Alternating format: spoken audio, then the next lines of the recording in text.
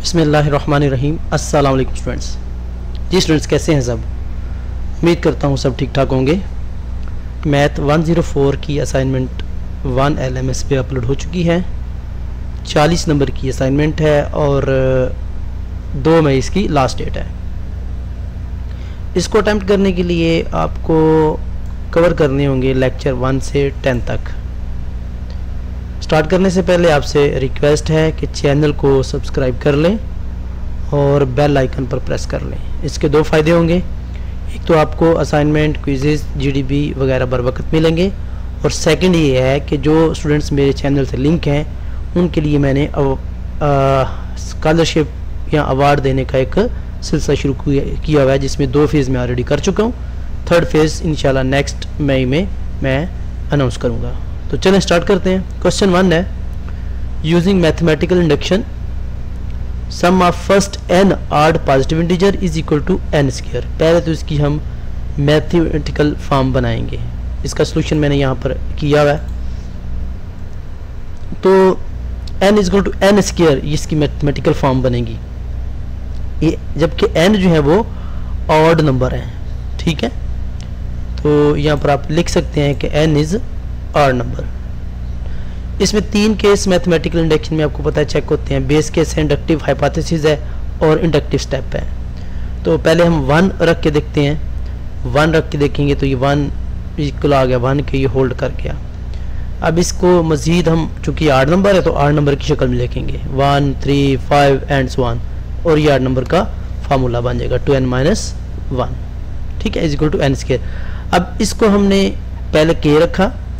के के बाद इसको हम के प्लस वन के लिए प्रूव करेंगे।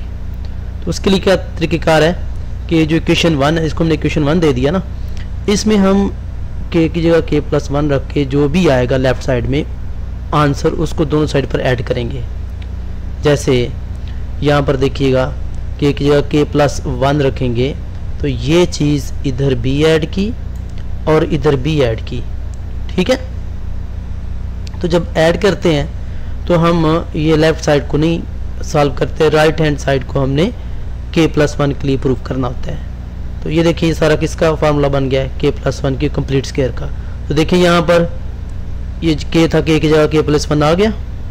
के की जगह के प्लस वन आ गया। ऐसा रही है। तो यही हमने प्रूव करना था। अगर ये साबित हो जाता है तो हम फिर कह सकते हैं कि तमाम एन की वैल्यू के लिए जो कि पॉजिटिव हों, यहाँ पर लिख लीजिएगा पॉजिटिव इंटीजर उनके लिए ये ट्रू है। ठीक है? बी पार्ट है इसी तरह। बी पार्ट में बी एन है। पॉजिटिव इंटीजर है। इसमें ऑड वगैरह का नहीं दिया हुआ just positive integer one two three four and one ये इसके इक्वल है। इसके इक्वल अब हम इसको प्रूव करेंगे। बी पार्ट में ये देखिएगा। अगेन ये जो मैथमेटिकल शेप बनेगी n is equal to n into n plus one over two ठीक है? और इसको पहले एन इजक्वल टू वन के लिए चेक किया। फिर इसके लिए के रखा। के रखने के बाद मैंने क्या बोला कि के की जगह के प्लस वन रख के दोनों साइड पर हम ऐड करते हैं स्टेप थ्री में। तो यानी के की जगह के प्लस वन रखा, ठीक है? इधर भी ऐड किया, इधर भी ऐड किया। अब ये ऐड करने के बाद राइट हैंड साइड जो होती है, उसको हमने के प्लस वन के लिए ट्रू करना होता है इक्वेशन वन को, ठीक है? तो ये करके देखते हैं। पहले एल्सियम ले लिया एल्सियम लेंगे तो ये आ जाएगा। तो इनमें के प्लस वन का मना आ गया इंटू के प्लस वन आ जाएगा, और टू आ जाएगा। तो ये देखें यहाँ पर के की जगह के प्लस वन आ गया। ठीक है?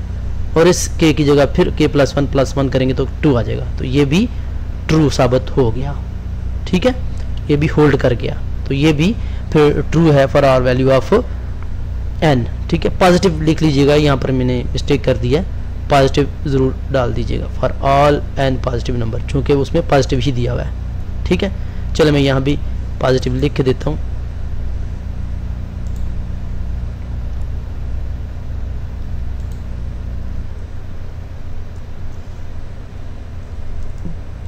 पॉजिटिव ठीक है जी? सेव कर दिया इसको मैंने। ओके इधर भी हम पॉजिटिव लिखेंगे फॉर ऑल पॉजिटिव